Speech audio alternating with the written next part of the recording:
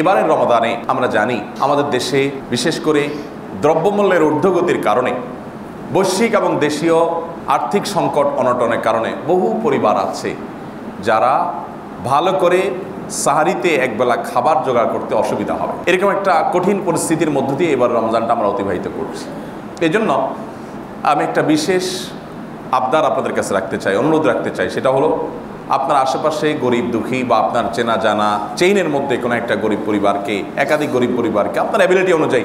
আর কিছু না পারেন, আপনি তিন চারশো টাকা দিয়ে একটু মাছ কিনে তার বাসায় পাঠিয়ে দেন, যাতে সারিটা তারা ঠিকমতো করতে পারে।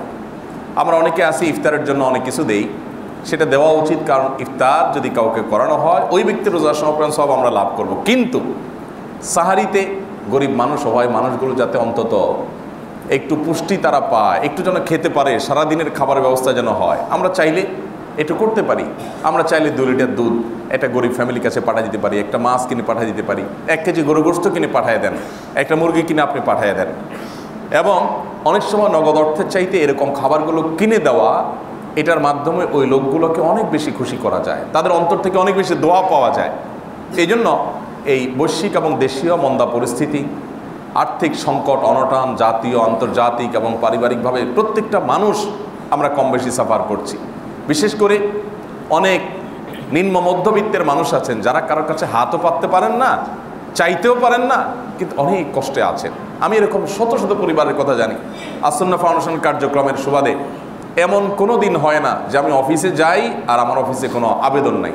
একটু আগে অফিস থেকে আসলাম, তাও দেখলাম একটা আবেদন, এটা চিঠি আমার অফিসে। প্রতিদিন চিঠি আসছে। সহযোগিতার জন্য। এবং মেইল আসছে। আমরা ব্যক্তিগতভাবে এই ধরনের সহযোগিতা করতে পারি না ফাউন্ডেশন থেকে। কিন্তু আমরা প্রত্যেকে, আপনি, আমি, যার যার জায়গা থেকে আমাদের আশপাশের মানুষগুলোর দিকে আমরা তাকাতে পারি।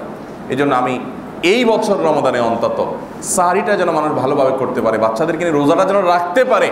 অনেক নিম্ন মধ্যবিত্তের মানুষ আছেন যে তারা ঋণে জর্জরিত হয়ে গেছেন, অনটনে আছেন, কষ্টে আছেন। রমজান কাটানোর মতো সুযোগ নেই। তাদের জন্য আমাদের চেষ্টা থাকা উচিত যে আমরা কিছু একটা করব।